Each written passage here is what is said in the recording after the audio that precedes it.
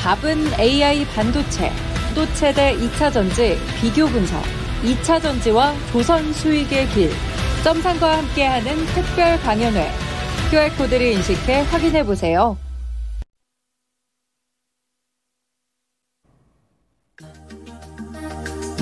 안녕하십니까 이재필입니다.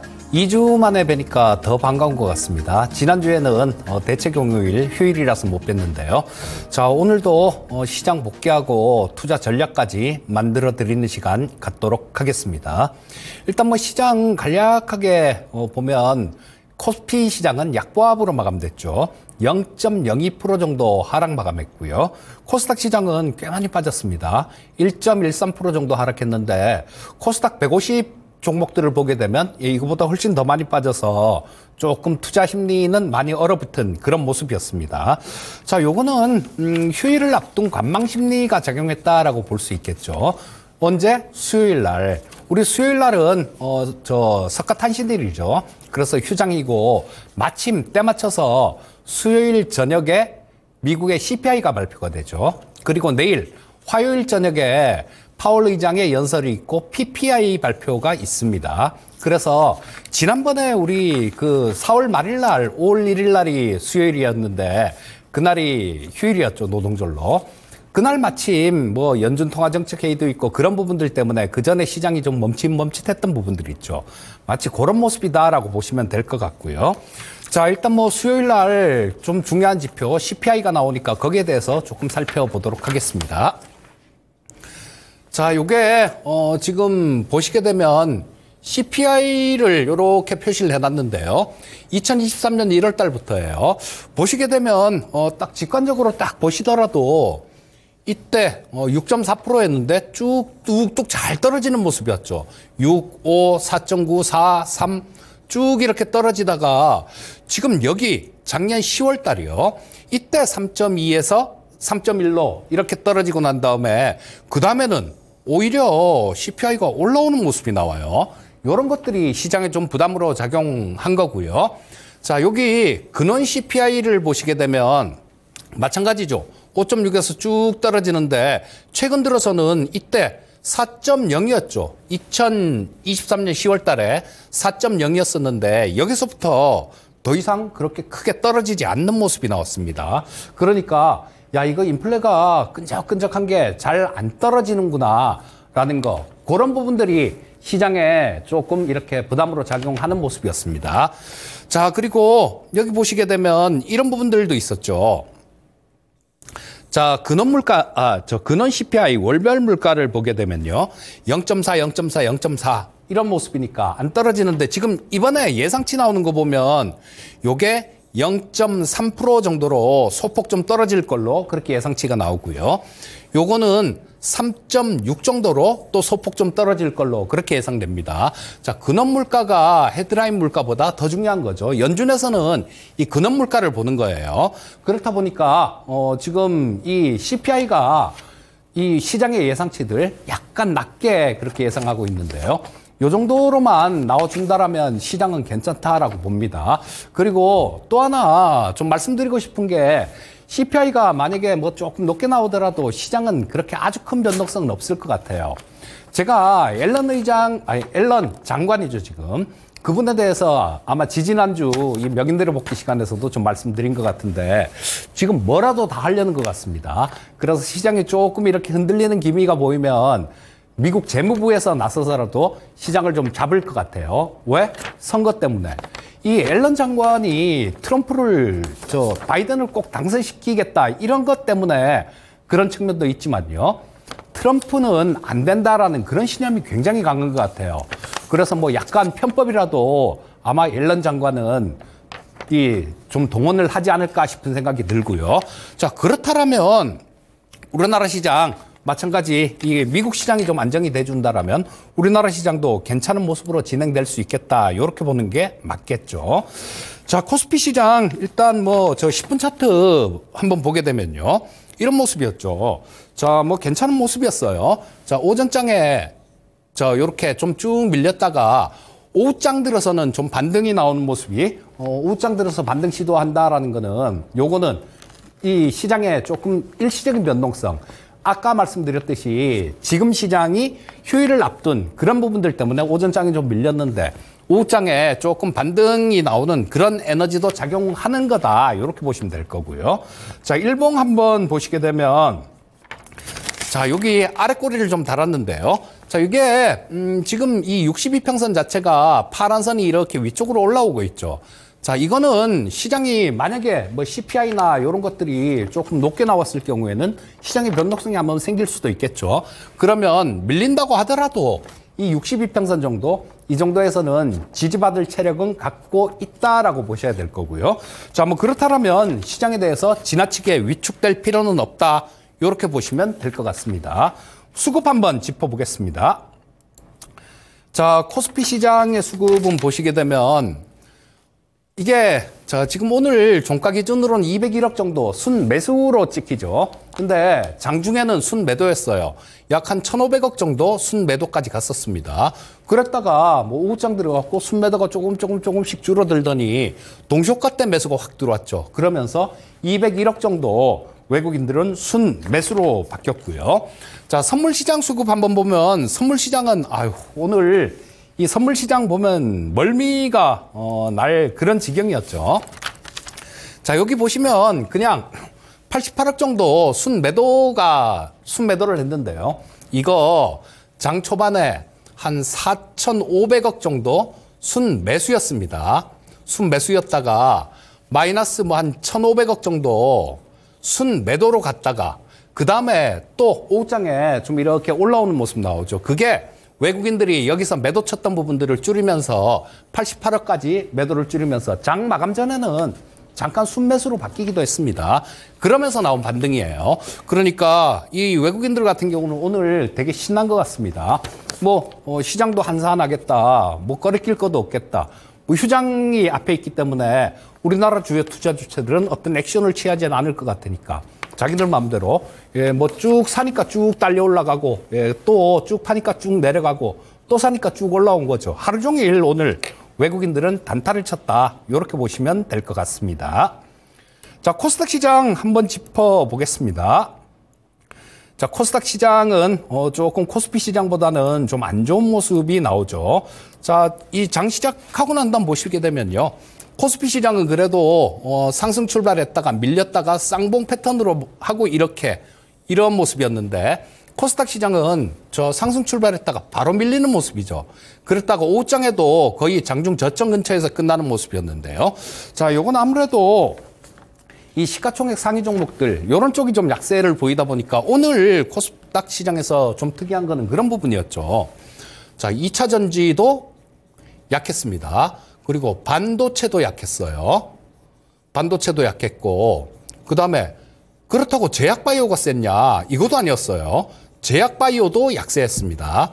자, 요런 거는 일단 저 코스피 시장 쪽은 이 프로그램 형태로 매수가 들어오는 부분들이 있었는데 코스닥 시장은 그런 부분들이 없었죠. 그리고 이게 CPI라는 거 이런 부분들을 앞두고 있다 보니까 이 금대기에 대한 확신 이런 부분들이 좀 부족했죠. 그러니까 코스피 시장 같은 경우는 조금 대안으로 할 수 있는 부분들이 있죠. 오늘 어, 여러 가지로 좀 움직였는데 방산주들 괜찮았었죠. 조선주들 괜찮았었죠. 원전 주식들 괜찮았습니다. 요런 쪽은 향후에 기대감이 있고 모멘텀이 있는 섹터들. 요런 섹터들이 있으니까 그쪽으로 매수가 들어왔는데 코스닥 같은 경우는 그냥 좀 지켜보자. 이런 심리가 상당히 강했다라고 볼 수 있을 것 같고요. 자, 수급 측면에서도 이 코스닥 시장은 코스피 시장보다 상대적으로 안 좋습니다. 자, 보시면 요런 모습이죠. 외국인들 어, 자 여기 3일 연속 순매도하고 기간이 4일 연속 순매도했죠. 근데 이것도 마찬가지 조금 줄어든 거예요. 장중에는 한 1,300억 정도 외국인들 순매도했었는데 오후장 들어서 장 막판에 조금 줄어든 그런 모습이니까요. 일단 수급 측면은 그렇게 오후장에 나온 수급들 보면 그렇게 나쁘지 않다라고 보시면 될 거고요. 자, 이런 것들은 그렇게 보시면 될 것 같습니다.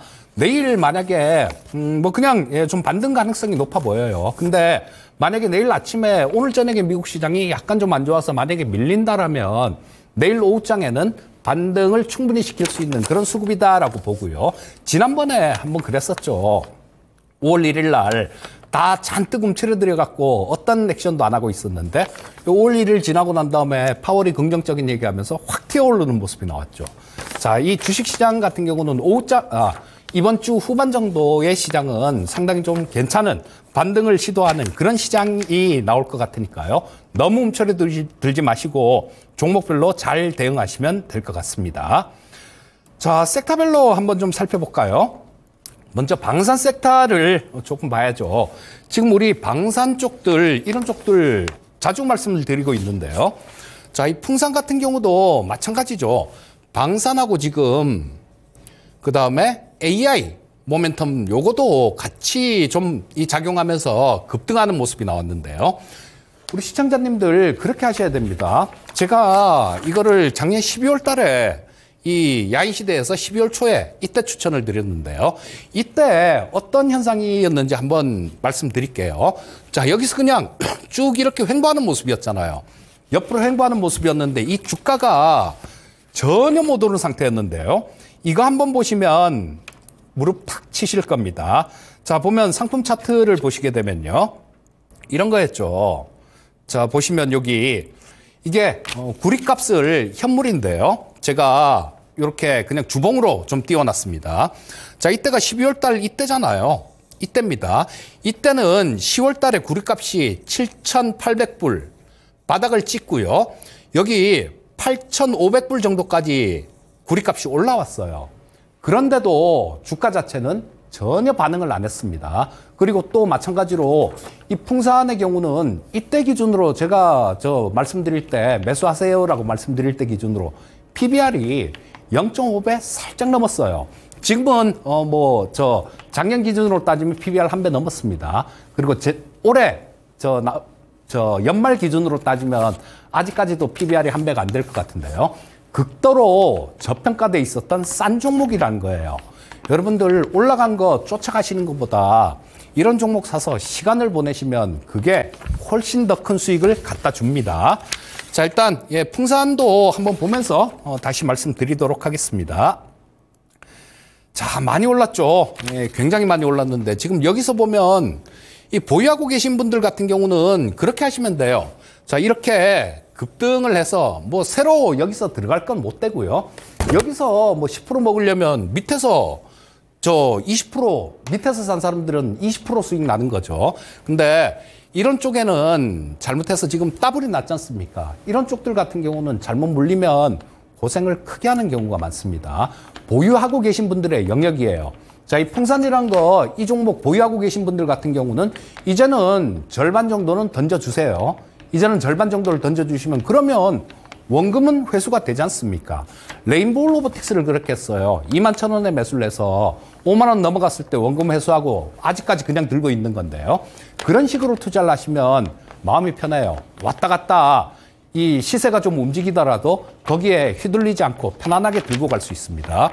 자, 요거는 그 AI로 인해서 뭐 이 전선 수요들, 구리 수요들 굉장히 많이 늘 것이다. 그리고 사거리 연장탄 이런 모멘텀이 있죠. 우리 K9 자주포, 155mm 자주포, 이게 최대 사거리가 한 40km 정도 갑니다. 저도 포병에 했었는데요. 저도 군대 있을 때 이 저 자주포를 타고 다녔는데 그땐 K55였었는데 그때 최대 사거리가 20몇 킬로 정도였다라고 그렇게 기억을 합니다, 제가. 근데 40킬로 날아가는데 여기에 40킬로에 만족한 게 아니라 포탄 자체에다가 장약을 이렇게 장착을 한 것 같아요. 그러면서 60km까지 날아갈 수 있는 사거리 연장탄을 개발을 완료했습니다. 개발 완료했으면 뭐 하겠습니까, 이제? 예, 국방부에다 납품을 해야죠.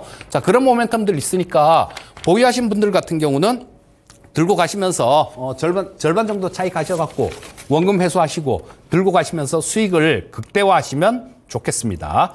자, 그리고, 음, 이제 또 이 LIG 넥스원 같은 경우도 저 이것도 어, 말씀드린 가격 그거보다는 또 더블입니다. 이것도 더블 났는데 이거는 어, 최근에 들어서 급등한 내용은 없기 때문에 그리고 향후 모멘텀이 조금 존, 재하고 있기 때문에 한번 잘 노려보셔도 되지 않나 싶은 생각이 드는데요. 자, 이 LIG 넥스원은 주로 유도무기, 미사일 같은 것들 이런 것들을 만드는 기업이죠. 근데 어, 저 새로 나온 뉴스를 보, 보니까 한화 에어로스페이스하고 우리 무인 함정 있잖아요. 배에서 이 작은 무인 함정들 이런 것들을 좀 이렇게 왔다 갔다 하면서 뭐 정찰 임무도 하고 그런 쪽들이요. 그거를 한화에어로스페이스하고 경합을 해갖고 LIG 넥스원이 이겼네요. 그래서 그 핵심 기술, 그걸 개발하는 업체로 LIG 넥스원이 선정이 됐고요. 자, 이 LIG 넥스원은 해검이라는 무인 함정이 있어요. 그거를 개발한 회사입니다. 그래서 어, 이 부분들이 나중에 비검 비검하고 이렇게 연계가 될 경우에는 지금 당장은 아니겠죠. 연계가 될 경우에는 예, 나중에 이 진짜 한 작년에 매출 한 2조 정도 되죠. 근데 수조 이렇게 얘기를 하는데요. 수조 지금 매출이 보다 더 많은 매출이 그쪽에서 발생이 될 수도 있다라는 거예요. 이건 좀 먼 얘기니까 뭐 그런 부분이 있다라고 보시고요. 또 하나는 그런 거 있어요. 6월 달에 여기서 상한가를 쳤었죠. 상한가를 쳤는데 이때 어떤 뉴스가 있었냐면 미국의 고스트 로보틱스를 어, 인수를 한다라는 그런 뉴스 때문에 상한가를 쳤습니다. 자, 요거는 어, 지금 이때는 저 인수를 한다 그런 거였었고요. 확정은 아마 6월 달에 확정이 될 것 같아요. 이게 미국 국방부에서 기술이 들어가 있기 때문에 미국의 승인이 있어야 됩니다. 미국의 승인이 있어야 되니까 그 부분이 아마 6월 달에 결정 날 것 같은데 저 보스턴 다이나믹스를 현대차에 저 넘기는 거 그것도 승인을 했으니까요. 아마 이 부분도 승인이 되지 않을까 싶은 생각이 듭니다. 그리고 7월 달에 또 하나 모멘텀이 있어요. 어떤 거냐면 이게 큰 거죠. 7월 달에 있는 거. 림팩 해상 훈련이 있어요. 자, 이거는 어, 이 태평양권에 있는 그런 국가들 다 모여 갖고 합동 군사 훈련하는 겁니다. 거기에서 비궁이라는 미사일, 자, 요거는 뭐냐 하면요. 함, 대한 미사일이에요. 뭐 공중에서도 쏠 수 있고, 그 다음에 지상에서도 쏠 수 있고, 배에서도 쏠 수 있고. 자, 그런데 요게 좀 소형급입니다. 미사일인데. 미국이 지금 이 저 소형 미사일들, 고속 함, 함정들 이런 것들을 잡으려면 미사일 되게 큰 걸 쏴야 돼요. 그래서 그 사이즈에 맞는 것들이 무기가 없습니다. 그래서 이 LIG 넥슨의 비공을 갖고 그쪽에서 뭐 이렇게 좀 검토를 이렇게 했어요. 근데 들리는 얘기 보면 7월 달에 림팩 훈련에서 실사격을 한다 그래요. 실사격, 실사격을 해서 거기서 이상이 없으면 미국 수출이 확정되는 겁니다. 여러분들 미국 수출이 어떤 의미를 갖는 건지 아십니까? 이거는 야, 이 무기는 진짜 좋은 무기야 하고 도장을 꽝 찍어주는 거예요. 자, 그러니까 그런 모멘텀들이 있으니까요. LIG 넥슨 같은 경우는 차트도 지금 잘 만, 이쁘게 잘 만들고 있죠. 22평선에서 지지를 양호하게 받는 모습입니다. 그러니까 제가 처음에 이 종목 말씀드렸을 때보다 더블 더 올라왔어요. 더블 더 올라왔지만 이 저는 이 전고점 19만 1,300원이네요. 저거 돌파하고 간다라고 보고요. 이거 야인시대에서 추천드리고 난 다음에 저 리뷰를 해드리고 목표가 20만 원을 드린 종목입니다. 아마 그까지도 가지 않을까 싶은 생각이 드니까 이런 거 한번 잘 노려보시기 바라겠습니다. 자, 다음에는 원전 관련주들 한번 보도록 하겠습니다. 자, 이 원전 관련된 것도 원전 주식도 두 가지 모멘텀이 좀 존재하죠. 첫 번째는 11차 전력 수급 기본 계획이라는 게 있습니다. 요거를 정부에서 5월 달 중에 발표할 예정이에요.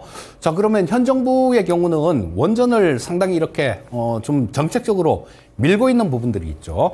자, 그러면 당연히 전력 수급 기본 계획에는 이 부분이 포함이 되게 될 겁니다. 그리고 체코 원전 관련해서 이게 30조 정도 규모인데요. 이 부분이 7월 달에 결정이 나죠. 그러니까 시간이 아직 좀 있으니까요. 자, 이거를 제가 수주를 한다, 안 한다라는 그런 얘기는 말씀은 못 드리겠어요. 왜냐하면 우리나라가 되는 게 유리한 게 맞아요. 하지만 정치적인 논리라는 게 끼일 수 있습니다. 프랑스하고 우리나라하고 이 뭐 양자 구도인데 자, 정치적인 그런 부분들이 끼게 된다라면 이거는 어떻게 될지 몰라요. 자, 근데 어, 기대감들이 좀 있으니까요. 한 6월 달 정도 그때까지는 이렇게 움직일 수 있는 그런 모습이다라고 보시면 될 것 같습니다. 그래서 지금 뭐, 어, 저, 위에 조금 올라갔죠. 조금 올라갔는데 분할해 갖고 조금 매수를 하셔 갖고요. 또 나중에 어 좀 조정받을 때 그때도 추매도 좀 할 생각하고 들어가시고 6월 중순 이후에 매도를 하시면 될 것 같고요. 또 하나 약좀긴 관점에서 말씀드리면 중장기적인 모멘텀도 또 하나 있습니다. 우리 KF-21, 저 4.5세대 차세대 전투기 개발하고 있죠. 지금 시제 6호기까지 개발해서 잘 날아다니면서 뭐, 어, 저, 미사일 같은 것들, 이런 것들 쏘는 훈련들, 이런 것들도 다 마쳤고요. 마하 1.8의 속도로 지금까지 우리나라에 있는 전투기 F-35도 마하 1.6 정도인데 속도가 마하 1.8로 비행하는데 성공했습니다. 여기서 딱 하나가 부족한 게 뭐냐면요. 우리나라가 항공기 엔진이에요. 엔진을 지금 G, 제너럴 일렉트릭에서 사다 씁니다. 거의 뭐 한 40% 정도는 우리나라 기술인데 거의 뭐 미국 거다라고 보셔야죠. 근데 지금 이 두산 에너빌리티가 저 발전소들 운영을 하면서 가스터빈에 대한 노하우를 굉장히 많이 쌓았어요. 그래서 올해 그 주총에서 보면 정관에다가 항공기 엔진 사업을 저 사업 목적에 추가를 했습니다. 이거 항공기 엔진 개발에 개발을 할 거고요. 저는 그동안 뭐 라이센스 생산하고 그런 것도 경력도 굉장히 오래됐으니까 충분히 가능성 있다라는 생각입니다. 그리고 이게 냉각 코팅 냉각 기술을 보유하고 있는데 이게 보통 보면 전투기 엔진은 1500도 정도 이상을 견뎌야 돼요. 자, 근데 지금 1650도까지 견딜 수 있는 그런 시험을 완성을 했습니다. 뭐 통과를 했으니까 충분히 가능성은 있다라는 생각이고요. 그래서 두산 에너빌리티 한번 잘 노려보시고요. 자, 또 하나 어, 매수를 할 만한 그런 부분들은 요것도 한번 노려볼 만한 것 같아요. 제가 주가가 많이 올라온 종목들은 별로 안 좋아합니다. BHI인데요. 자, 요거 실적 굉장히 좋아졌습니다. 작년도 실적이 굉장히 좋아진 이유는 어떤 거냐 하면 이집트에서 2022년도에 원전을 수주한, 수주한 게 있어요. 그렇게 크진 않은 건데 원전을 4기를 수주를 했는데 요게 매출에 이렇게 잡히고 있습니다. 그래서 재작년보다 작년 실적이 엄청나게 좋아졌어요. 요 종목 마찬가지 체코 원전이 우리나라로 낙찰될 경우에는 상당한 수혜가 있을 걸로 예상되니까요. 뭐 실적 대비해 갖고 가격 자체도 그렇게 비싸지 않고 지금 조정받고 뭐 좀 이렇게 위로 움직이려고 꿈틀꿈틀하는 모습이니까요. 한번 잘 노려보시면 좋겠습니다. 자, 마무리를 해야 될 시간이 벌써 됐네요. 조금 얘기하다 보면 시간은 정말 빠릅니다. 자, 휴일 앞두고 있는 시장이죠. 자, 오늘 이렇게 눈치 보기 장세가 나왔고요. 내일 같은 경우도 눈치 보기 장세가 조금 나올 가능성도 있죠. 하지만 오늘 오후장에 외국인들 선물 시장에서 수급이나 현물 시장에서 매수로 돌아선 수급을 생각해 보게 된다라면 내일 오후장에는 좀 올라올 가능성이 많아 보입니다. 자, 그렇다면 어, 이 눈치 보기 장세, 지금은 눈치 보기 장세지만 수요일 날 휴일 이후의 시장은 괜찮을 확률이 높으니까요. 아까 서두에 말씀드렸듯이 뭐 그렇게 너무 위축되지 마시기 바라겠고요. 자, 파월 의장의 발언도 저는 어 약간 시장에 내일 저녁에 있죠. 우호적일 가능성이 높다라는 생각입니다. 파월도 트럼프가 대통령이 되는 걸 원치는 않을 겁니다. 트럼프 때 어, 트럼프가 지명은 했지만 나중에 말 안 들으니까 자르는 안에 막 그랬지 않습니까? 그러니까 파월의 발언, 뭐, 그거도 좀 비둘기적일 가능성이 많고, 그 다음에 이 CPI 역시 마찬가지 아까 말씀드렸던 그 정도 숫자대로 나온다라면 시장에 우호적일 가능성이 많습니다. 추가 조정이 나오면 예, 그때는 바로 반등이 나올 가능성이 높으니까 그 부분 참고하시고 매매를 하시고요. 자, 오늘 저녁에 어, 야인 시대에서는 또 AI 관련 주식을 말씀드릴 텐데 그 부분도 어, 매수해서 길게 들고 간다라면 상당히 어, 큰 상승을 볼 수 있는 그런 종목을 소개시켜 드리도록 하겠습니다. 자, 저는 이따 저녁에 야인 시대 때 또 뵙도록 하겠습니다. 감사합니다.